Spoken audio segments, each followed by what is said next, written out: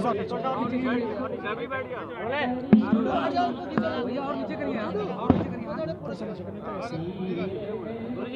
देव दीपावली का त्योहार है और काशी में आपका आगमन हुआ है क्या नज़ारा रहा क्या देख लगा मैं तो अभी अभी अमेरिका से आ रहा हूँ।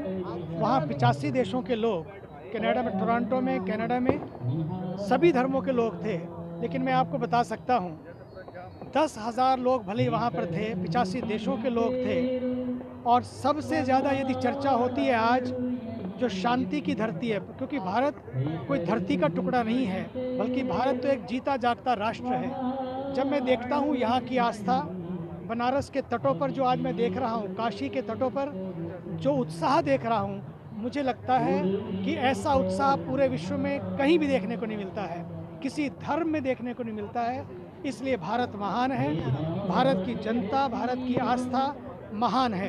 मुझे यहाँ कर बड़ी प्रसन्नता हो रही है। इतिहास में पहली बार देव दीपावली का इतिहास है?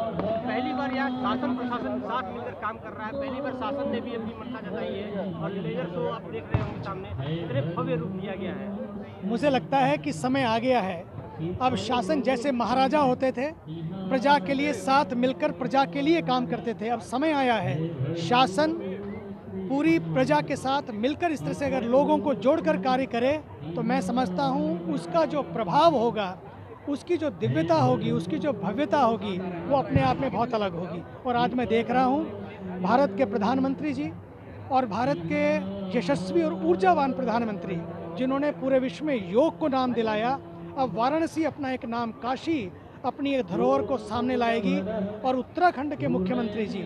मैं समझता हूँ, वे चाहे अयोध्या हो या काशी हो, मथुरा हो या वृंदावन हो, सब जगह वो इस तरह से दिवाली मना रहे हैं, देव दिवाली मना रहे हैं। मैं समझता हूँ, शासन वही है जो अपने पर्वों को, त्योहारों को साथ साथ सबको लेकर मनाए, उसका दर्शन आज यहाँ हो रहा है और लेज़र शो का जो आज यहाँ मैंने जलवा देखा, मुझे लगता है आज गुरु नानक देव जी का भी 550वां जन्म दिवस है। ऐसे दर्शन, एक 550 साल पहले गुरु नानक देव जी ने एक प्रकाश ने जन्म लिया और आज मैं देखता हूँ, यहाँ तो प्रकाश ही